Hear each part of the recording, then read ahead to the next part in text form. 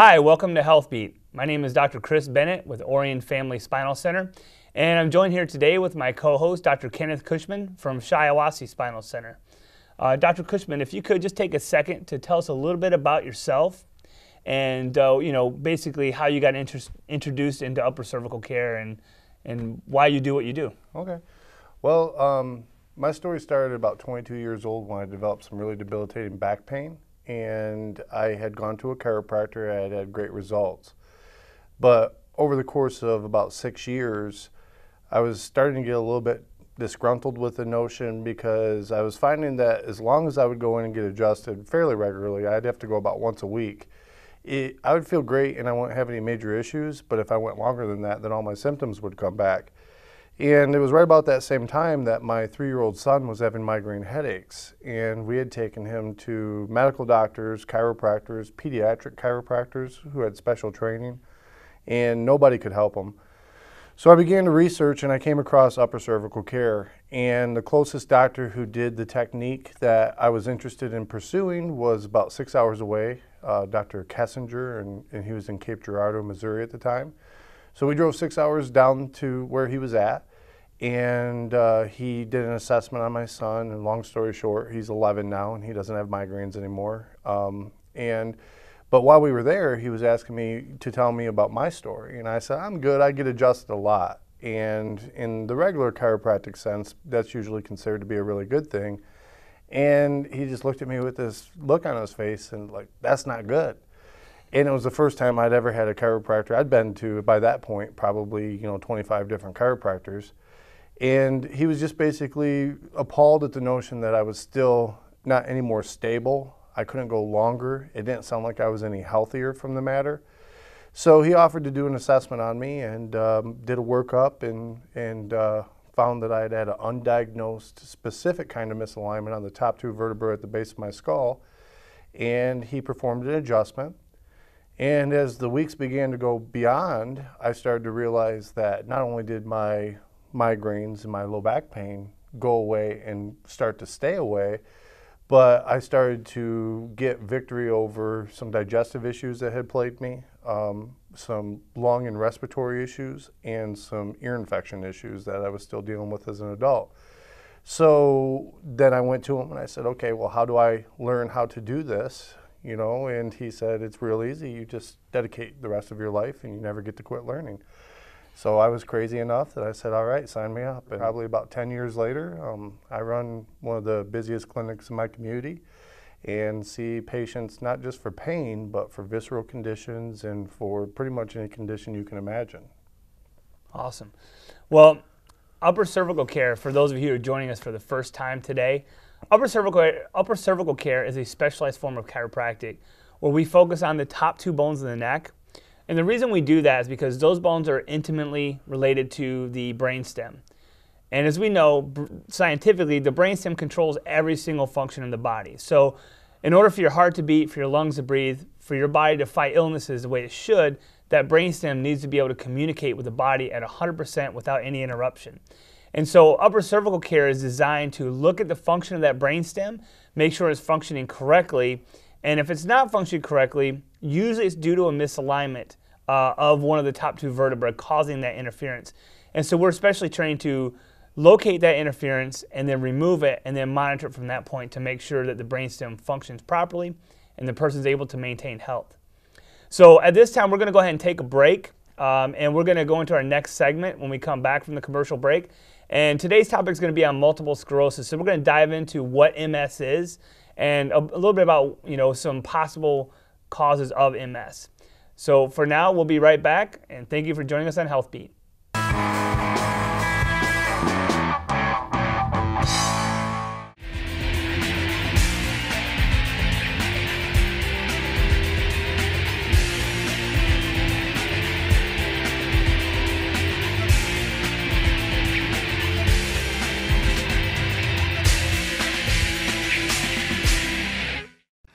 Hey, this is Mickey York from Fox Sports Detroit. When I want to get the inside scoop on local sports, I watch Between Terminus or Fox Sports Detroit.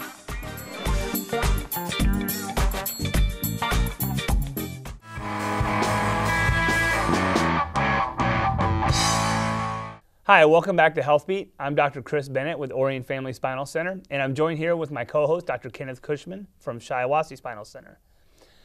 Uh, this section, we're going to talk about multiple sclerosis and, and what it is and uh, some possible causes of it. There's a lot of theories out there about the disease.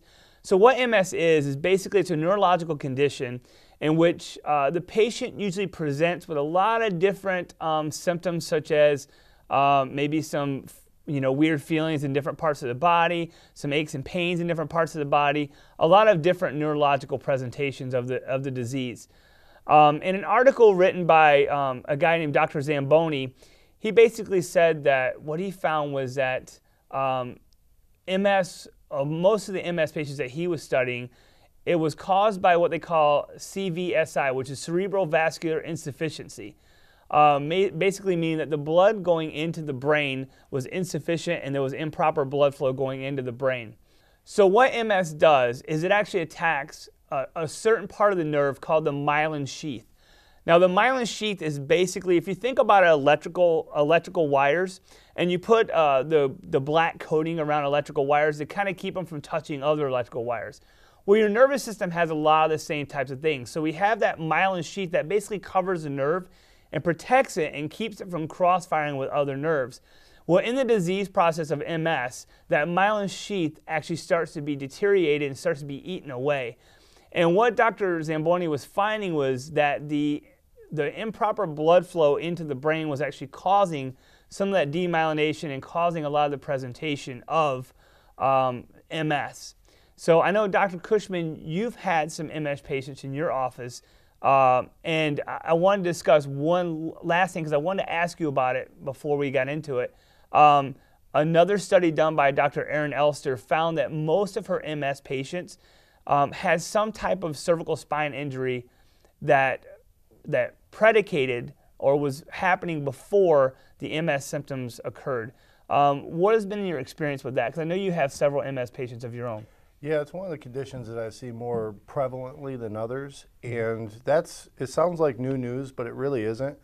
There's been numerous studies over the years that have suggested a link between cervical spine trauma and a variety of degenerative conditions, MS being one of them, uh, Parkinson's disease, fibromyalgia, and basically they just seem to come back in the research to this link between neck trauma and these other conditions. And when you look at this, the neurologic significance of the brainstem, it begins to make a lot more sense. So we do see a high correlation of people who have those uh, really advanced degenerative type conditions who will state that, yeah, you know, previous, five years previous to the onset of the symptoms, I was rear-ended very badly or something to that effect. And we've seen that in many upper cervical offices. And um, there's been numerous studies on that showing that um, you know how the the misalignment or the cervical spine injury actually does happen prior to the onset of symptoms for MS. Yeah, we do definitely see a large link between uh, cervical spine trauma and different debilitating conditions, MS being one of the more prevalent ones.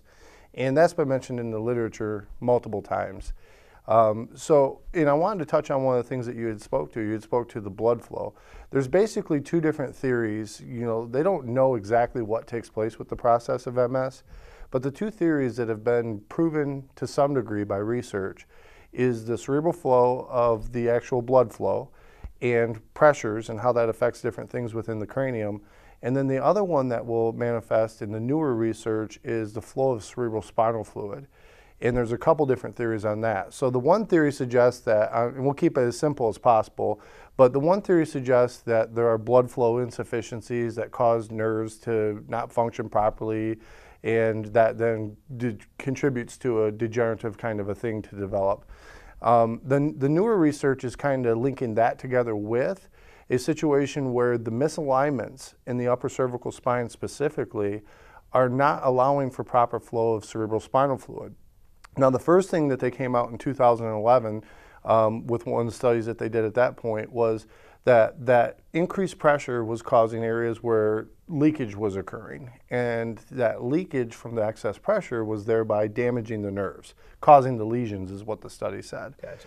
Now, on the newer studies that they're doing, and, and really the, the big jump forward with the way that the research is being done came with the development of upright MRIs.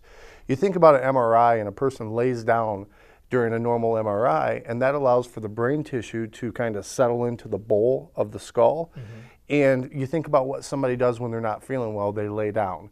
So they had this theory that if they did upright MRIs, they would be able to get a truer picture of like how much compression has taken place. And they used a variety of methods, including radioactive dyes and things of that sort, to check the flow of the cerebral spinal fluid. And what they found is in these patients who have the upper cervical misalignments, there seems to be a correlation to where that doesn't allow for the CSF to flow properly, which goes and bathes the brain and then it goes down into the spinal cord and it just flows just like your blood flow does, but it stays within that central nervous system.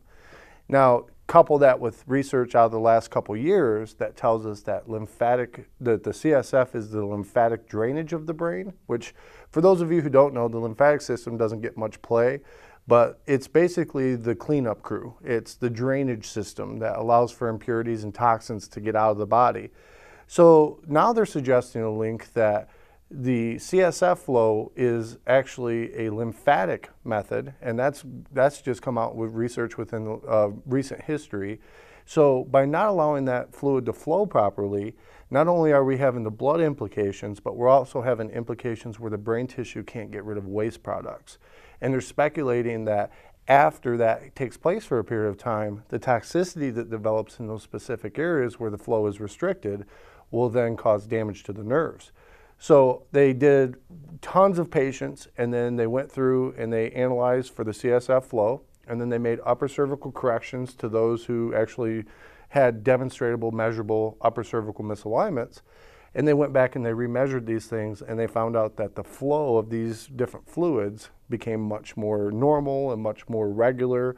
And some of the newest research that hasn't even come out yet that you spoke to a case in Italy where they're doing some groundbreaking research there. Well, there's some uh, there's some group of doctors in the states that are doing some of that research as well, and they're actually seeing in some patients that there's a tendency towards some of the smaller lesions actually healing over time. So it's groundbreaking, and we're right on the cusp of it. It's very exciting, and it makes sense in hindsight when the research comes out of how could an, a neck trauma, a cervical spine trauma, then contribute to these different debilitating conditions. Right. And so one of the things that you know I want to kind of cover here because especially if you've watched like previous episodes, you know, we did an episode on heart disease. Uh, this episode's on multiple sclerosis. We'll do other episodes on diabetes and a lot of different conditions. But upper cervical care is not a treatment for these conditions. So basically, all we do with as an upper cervical doctor, an upper cervical practitioner, is we just look at that top of the neck and we're just looking at the function of that brainstem. Now, when we correct the function of the brainstem and allow actually, you know, remove the interference that those bones are producing there, uh, and allow it to communicate properly, then we start to see the body function correctly because our bodies are really designed to heal themselves. They really are. I mean, it's we know that if you cut your finger, it's not the band-aid that heals, it's not the neosporin that heals. The body actually does it itself. Well, it can heal internally just as it can externally. But it's just got to be given the right environment to do so. And so this isn't a treatment for MS. It's not a treatment for diabetes. It's not a treatment for heart disease. It's a treatment for malfunction in the body and we're getting the body to actually function correctly. And when we do, the body can heal from a lot of different conditions. So I just want to make sure that people out there realize that this isn't a treatment for MS. It's not a treatment for any one condition. So, uh, Dr. Cushman, I want to thank you for that information. That was a lot of great information, and and MS is very complicated in a lot of ways as far as uh, the you know what they feel is the cause of it. So when we get back, uh, we're going to actually cover some articles that are in the news now. Um, and one of them is the research article that you just mentioned uh, that's being done in, in Italy that hasn't been published yet, but it will be very soon. Uh, and we're also going to be covering a couple other articles that talk about upper cervical treatment of multiple sclerosis. Even though, again, uh, I want to caution that it's not a treatment for MS, but that's the way the article is written. So uh, when we come back, we'll cover our section called What's in the News. And uh, thank you for joining us here on Health Beat. We'll be right back.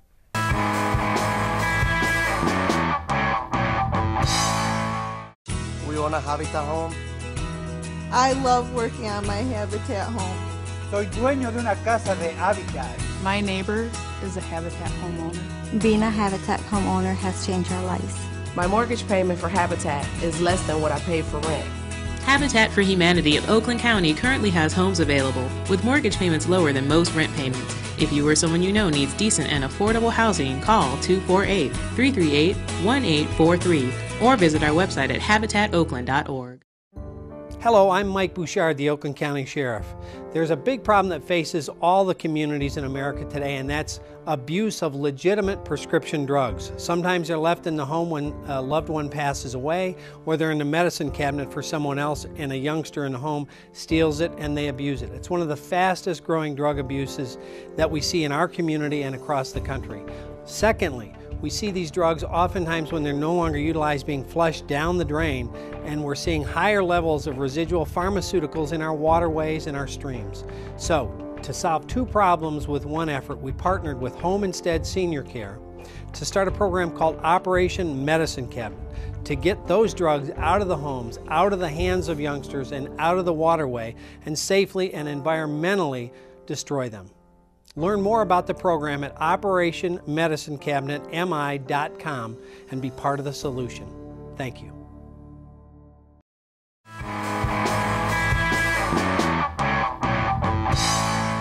Hi, welcome back to Health Beat. I'm Dr. Chris Bennett, and I'm joined with my co-host, Dr. Ken Cushman. Uh, we are going to talk about our section now called "What's in the News," and uh, this this episode has been on MS. So this uh, first uh, case study that we're going to talk about is an older case study by done by Dr. Erin Elster, who is an upper cervical practitioner. And um, basically, what this case study entails is that it was a 44 year old woman that presented to her office with uh, that had been diagnosed with MS. Um, her MRIs had showed lesions on the brain. And um, what they found was after one year of upper cervical care, uh, this patient had a follow up MRI uh, and what they found with the follow up MRI is that there were no new lesions, and the original lesions that were on the original MRI were weakened and less intense. Uh, now, this patient can, and the and the symptoms actually at that time, I, I should mention this also. The actual outward symptoms, the clinical symptoms of MS, were absent completely.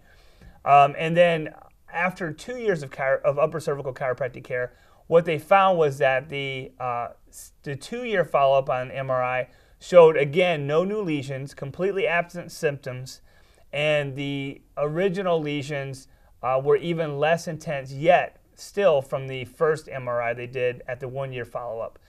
And uh, what the neurologist concluded was that the upper cervical chiropractic care that this patient received actually triggered a reversal in the progression of MS, allowing the patient to be symptom free.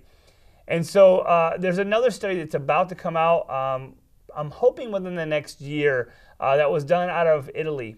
And that study actually talks about MS and what they studied in that. It was done by several medical doctors in Italy. And they actually looked at blood flow going into the brain. And they determined that um, patients that had MS had abnormal blood flow that was going into the brain that was actually leading to the demyelination of the neurons or, or of the nerves, if you want to use the word nerves, uh, and causing the symptoms of MS. Now, why that's important and why that means anything is because earlier we discussed that um, another study done by Dr. Erin Elster found that most of her MS patients had some type of previous cervical spine injury. So, how do we go from cervical spine injury over here to symptoms of MS? And basically, what happens is, is as a cervical spine injury happens, it actually knocks out of alignment one of those top two bones. Now, the top two bones actually do not literally put, they don't literally hit the brainstem or put pressure on the brainstem, but what happens is the covering that surrounds the brainstem and spinal cord, which is called the dural sac, is actually intimately uh, attached to the brainstem up in the upper cervical region. And as those bones actually move out of alignment, the way they move out of alignment, they actually cause that dural sac to twist and actually cause an irritation and reduction in fluid flow and blood flow in that area. So as this area is correctly and specifically realigned, it allows that area to actually get the proper flow up to the brain and proper blood flow is restored. Therefore, in this study in, in Italy, what they were finding was that the patients were actually uh, having relief of symptoms of MS. And this was a very big study that was done. Now, I know, Dr. Cushman, we talked earlier, and you were telling me before the show that you had a patient that had some very different MS symptoms or for some very severe MS symptoms. Mhm. If you want to discuss that case with us just briefly. Yeah, with, with MS, the tricky part about it is you can have any variety of symptoms. It's just basically nerves quit working properly. So in this particular woman's case, some of her biggest symptoms was migraine headaches. Um, she had a lot of problems where she would be feeling fine and she'd be carrying her grandchild. And she'd gotten to the point where she couldn't carry her grandchild because there was a couple times where her leg just quit working and she fell down. So just intermittent loss of function of limbs that would come back. But one of the strangest ones that I thought was very unique in her case is she'd have periods of time where her eyes would go crossed. And she, she was a customer service representative and she was on a computer and her eyes would just go crossed and they'd stay that way for sometimes two days at a stretch. Which is difficult for someone to do. Well, yeah, and just work with. imagine, just imagine like when you don't know what's happening. So she had been to the doctor, and they had ultimately, through the long process, diagnosed her with multiple sclerosis. And she was under treatment, but she wasn't having any relief from her symptoms. So she came over, and at this point, it had developed into dizziness and lots of other things as well.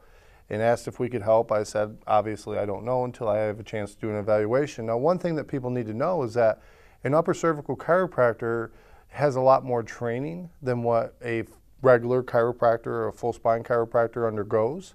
Um, we basically go through that process and then we go on to postgraduate studies with a legitimate upper cervical group that does training on more tools and more analysis and more ways to discover exactly what's going on in that area. So I applied the analysis and she had a, a very big misalignment of the top bone in her neck, the C1 bone. And still, I did not know if I was going to be able to help her. So we provided a test correction. We came back and remeasured with all the methods that we used to find the misalignment. And it tested that the, the misalignment was corrected for. And over the course of the next two to three months, one by one, her symptoms began to lessen to the point where basically they all went away. And she st- still gets checked periodically and hasn't had any relapses or any negative downturns. And she attributes the upper cervical care to the fact that her symptoms, she can't really tie it together to anything else, like why are they doing so good? Especially the migraines, which she had for years prior to the diagnosis of MS. So, what I thought was interesting about her case was not necessarily all that. That's very, very, very nice to hear. But what was really interesting was the fact of out of all that, and after everything that she had suffered, she came back to she had written a testimonial and provided that to the office about you know her experience.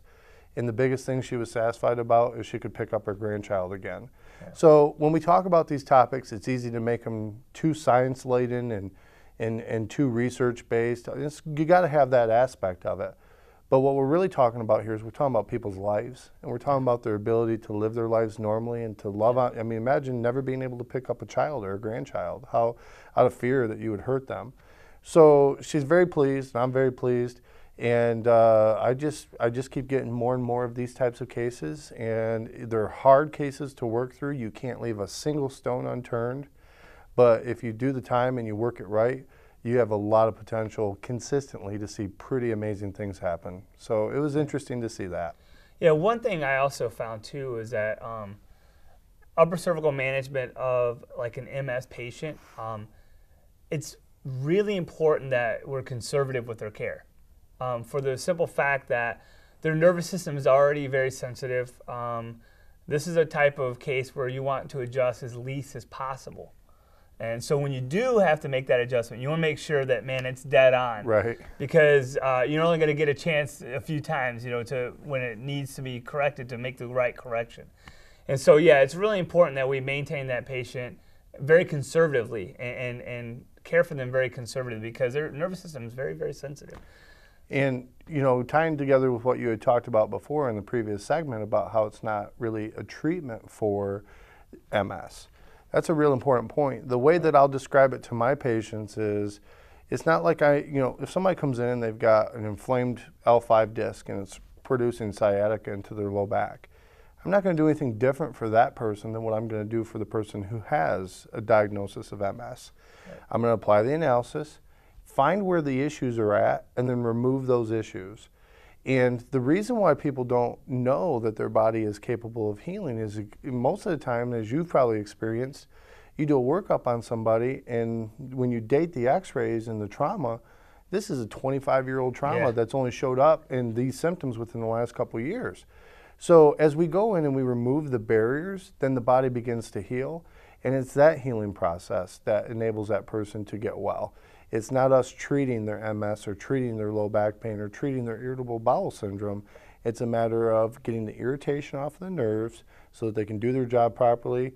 And consistently, you see high, high levels of people.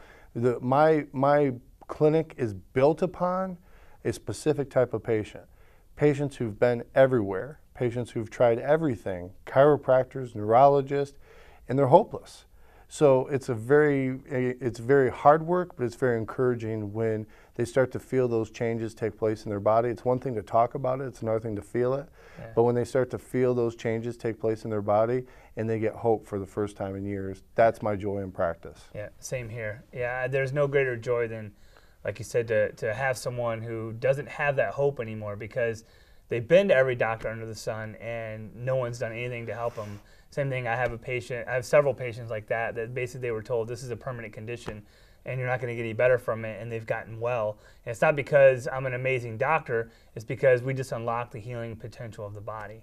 So I want to thank you, Dr. Cushman, for joining us today. It was my pleasure and my joy. Thank you, Dr. Bennett. If you have any uh, questions or comments or a topic you'd like for us to cover, um, or if you just want to locate an upper cervical doctor near you, please shoot us an email at Orion Family Spinal Center at gmail.com and we'll answer those emails as they come in.